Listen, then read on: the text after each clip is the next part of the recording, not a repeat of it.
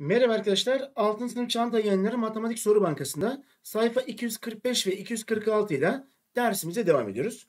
Konumuza başlamadan önce arkadaşlar kanalıma abone olur ve videoları beğenirseniz çok sevinirim. Evet birinci etkinliğimize bakalım. Yanda verilen şekilde komşu açıları belirleyiniz diyor arkadaşlar. Arkadaşlar iki açının komşu olabilmesi için ortak ışınları olması gerekir. Ortak ışınları olması gerekir diyorum.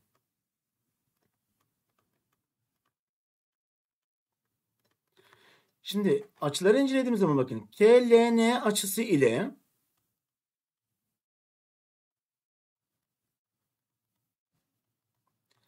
NLM açısı yani şu açı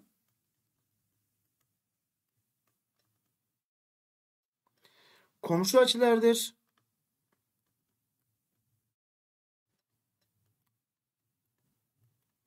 Çünkü arkadaşlar LN ışını ortaktır diye söylüyoruz. Evet, ikinci etkinliğime baktığım zaman EBD komşu EBD açısına komşu 3 tane açı yazınız diyor arkadaşlar. EBD açısı bakın şurası. Buna komşu 3 tane açı. Şimdi BE'yi ortak kabul edecek olursam arkadaşlar bakın. FBE komşu bir açıdır. BD'yi ışın kabul edecek olursam ortak ışın DBC komşu bir açıdır. Yani şu açı komşudur. Aynı zamanda bu açı da buna komşudur diyorum. Sağından ve solundan DBC açısı. Bir tane de arkadaşlar BF ışınını görmeyin. BF ışını görmüyorum. AB E diye söylüyorum. Bakın ABE de ED EBD açısına komşudur. A BE açısı da yine EBD açısına komşudur diyoruz. Şurayı temizleyerek arkadaşlar B'ye bakıyorum. FBE açısına komşu 3 tane açı yazınız diyor. FBE, FBE bakın burada. Şimdi önce soldaki açıyı yazıyorum.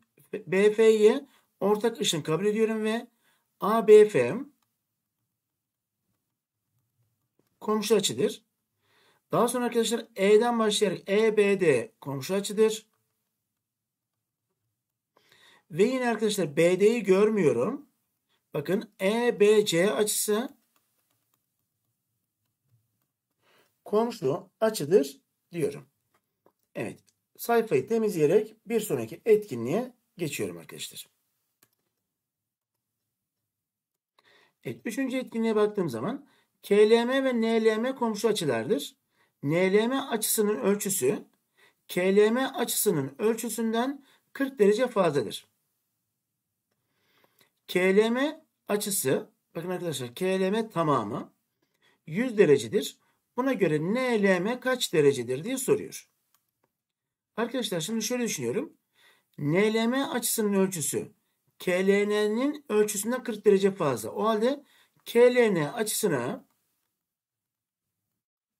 ölçüsüne A diyecek olursam buna küçük açı diyorum ve A diyorum. K, L, N yani şurası A olsun. Diğeri arkadaşlar yani NLM açısının ölçüsü A'dan 40 derece fazlaysa A artı 40 derecedir diyorum. Evet. Bu ikisinin toplamı arkadaşlar neydi? 100 dereceydi. O halde bakın ikisini toplayacağım. A artı KLN açısıydı. NLM'de A artı 40'tı. Ve bunların toplamı 100 dereceymiş. A, A'da 1A, 1A daha 2 tane A yapar. Artı 40 derece eşittir 100 diye düşünüyorum. Arkadaşlar öncelikle bakın şöyle düşünelim. 2 tane A'yı 40 ile topladıktan sonra 100 ise öncelikle 40'ı çıkarıyorum. 100'den burada 2A kaldı. O halde 2 tane A 60 derecedir. 2 tane A 60 ise bir tane A'nın 30 derece olduğunu görüyorum. Peki benden arkadaşlar bir tane A'yı yani KLN açısını mı istedi? Elbette hayır diyorum. Bakın benden istenen açı NLM açısı. Arkadaşlar lütfen soruda nereye istediğine dikkat ediyorum. NLM açısı A'dan 40 derece fazlaydı. Yani A artı 30 idi. O halde A 30 ise pardon A artı 40 idi arkadaşlar. A artı 40'tı. O halde 30 ile 40'ı topluyorum. Ve bizden istenilen sorunun cevabını 70 derece olarak söylüyorum. Evet. 5, dördüncü soruya bakıyorum. Yanda verilen şekilde AOB ile BOC, AOB, EB ile BOC komşu tümler açılardır. Buna göre BOC kaç derecedir diye soruyor. Arkadaşlar komşu tümler ne demekti?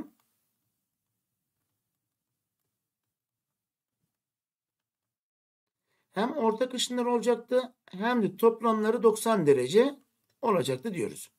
Şimdi AOB 25 ise BOC'nin ölçüsü ikisinin toplamı 90 olacağına göre 90'dan 25'i çıkarıyorum. 90'dan 25 çıkaracak olursak arkadaşlar ne olur? 55 derece mi oluyor arkadaşlar? Bakın 10'dan 5 çıktım. 5. 8'den 2 çıktım. 6. Evet. 65 derecedir diyorum. Evet. Bir sonraki etkinliğe geçiyorum arkadaşlar. Sayfayı temizleyerek. Evet. Beşinci soruya bakıyorum. Aşağıda verilen açıların tümleri olan açıların ölçülerini yazınız diyor. Arkadaşlar tümler demek daha önceki derslerde de bahsetmiştim. 90 demekti. Öğrencilerimiz bunu kodlaması için de 90'ı bir de heceyle yazayım. Bakın tümler 2 hece. 92 rakam 92 hece. Bakın hepsi 2 hecelik. O halde ben bunları 2'lik diyelim. Bunların hepsini tümler diye kodluyorum. Bütünleri de şöyle yazalım. Bütünler 180 demekti toplamı. 180'i yazı ile yazacak olursam da bakın kodlarken öğrencilerime hep böyle söylerim.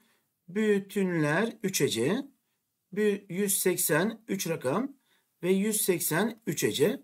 Bakın üçlükler de bir arada olacak diyorum. O halde tümler 90'dır. Bütünler 180'dir diye kodlayabiliriz.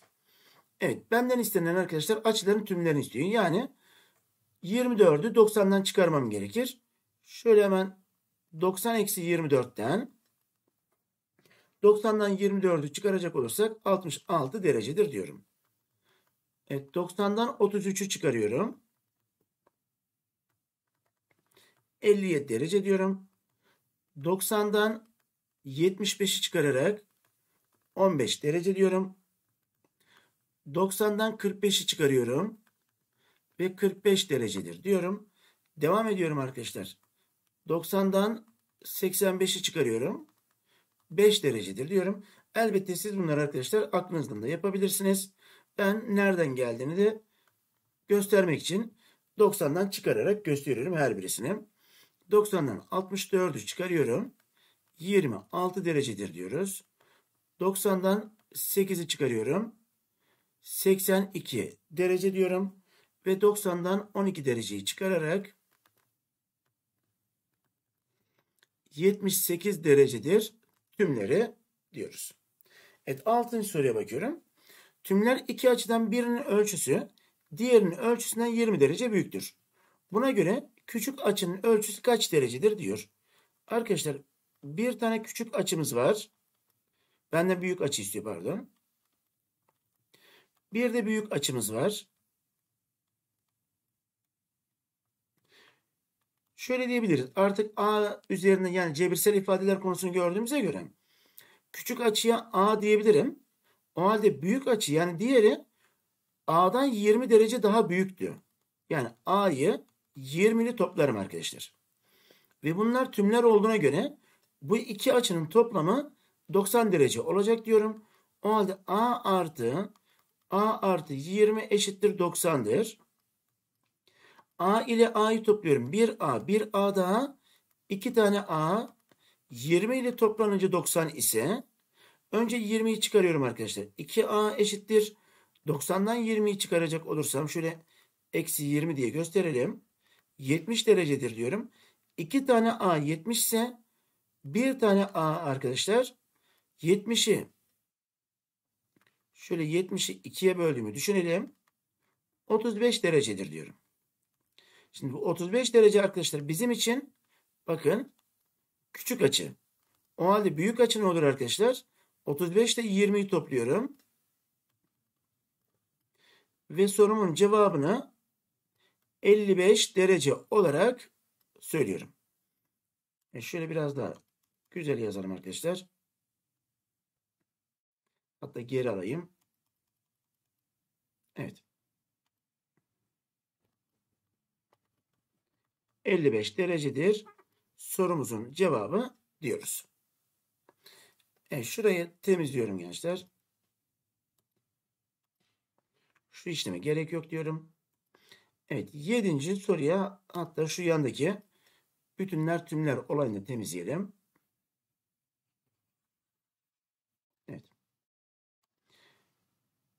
Yedinci soruya bakıyorum arkadaşlar. Tümler iki açıdan birinin ölçüsü diğerinin ölçüsünün 5 katıdır. Buna göre büyük olan açı kaç derecedir diye sordu. Yine küçük açı diyorum. Bir de büyük açımız var.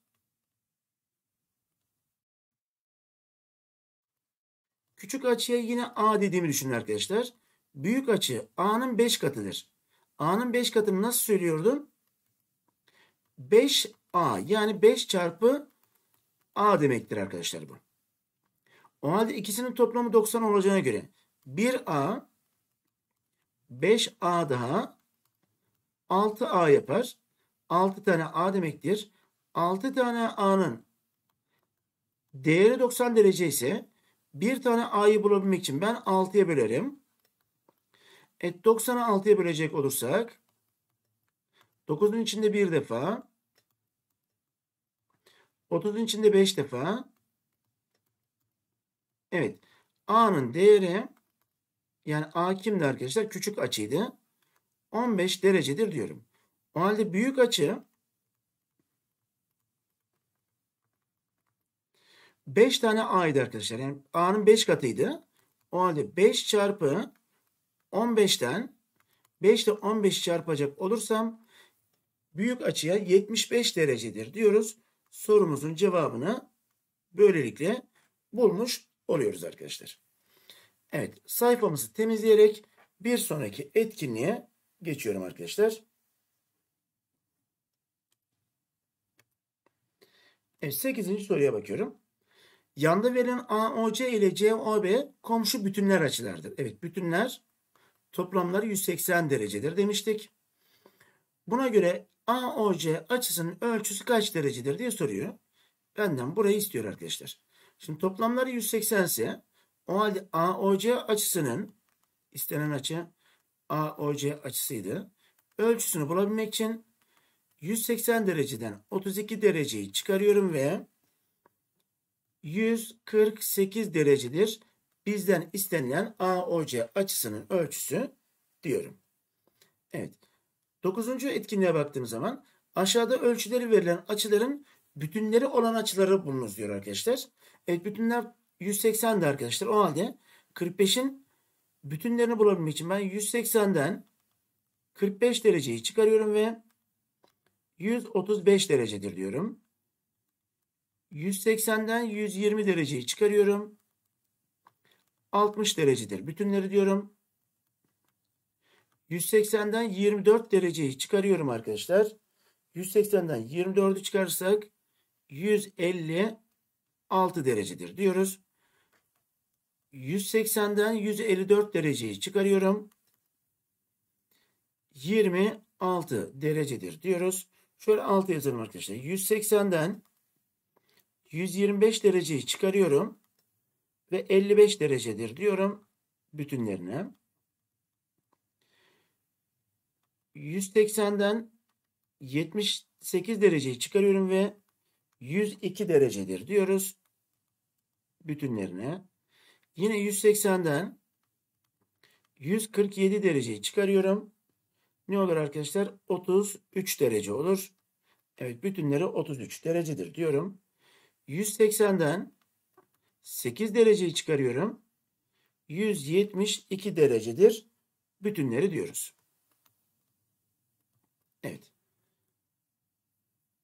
Sayfamı temizleyerek bir sonraki etkinliğe geçiyorum arkadaşlar. Evet 10. soruya baktığım zaman bir açının ölçüsü bütünlerinin ölçüsünün 9 3 katıdır.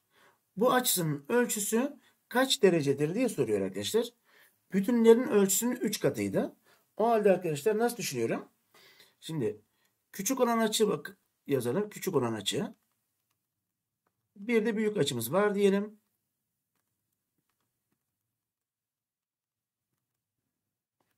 Şimdi küçük açıya A dersem büyük açı arkadaşlar 3A olur. Ve bunların toplamı bütünler olduğuna göre 4A olur ve bu da 180 derece eşittir diyoruz. 180 dereceyi 4'e bölüyorum. 18'in içinde 4 defa. 16 çıkardım. 2. 20'nin içerisinde arkadaşlar 5 defa. O halde A'nın değeri 45 derecedir diyorum. Benden arkadaşlar açı bütünlerin 3 katıdır demişti. O halde açımız arkadaşlar burada ne oluyor? Bütünlerin 3 katı olduğuna göre bir açının ölçüsü bütünlerinin 3 katıdır. Bak açıya 45 dersem bütünleri bunun 135 derecedir. Bütünlerinin açının ölçüsü bütünlerinin şimdi 135 derecedir benim burada cevabım öncelikle. Yani açının kendisi 135'tir. Çünkü 135'in bütünleri 45 derecedir ve 45 derecenin 3 katıdır diye düşünüyoruz. O halde sorumuzun cevabı 135 derece olur diyoruz. Yani aslında bizden büyük açıyı istemiş oluyor. 11. soruya bakıyorum arkadaşlar. Bir açının ölçüsü bütünlerinin ölçüsünden 28 derece fazladır diye söylüyor. Evet. Açının kendisi bütünlerden bir açımız var arkadaşlar. Bir de bütünleri diyelim o zaman. Karışıklık olmasın. Bütünlerinden 28 derece fazla ise bütünlerine A dersem açı A artı 28 olur. O halde buna göre açı kaçtır diyor arkadaşlar. İkisinin toplamı 180 olacaktı. A artı A artı 28 topladığım zaman 2A artı 28 oldu. Eşittir 180 derece diyorum.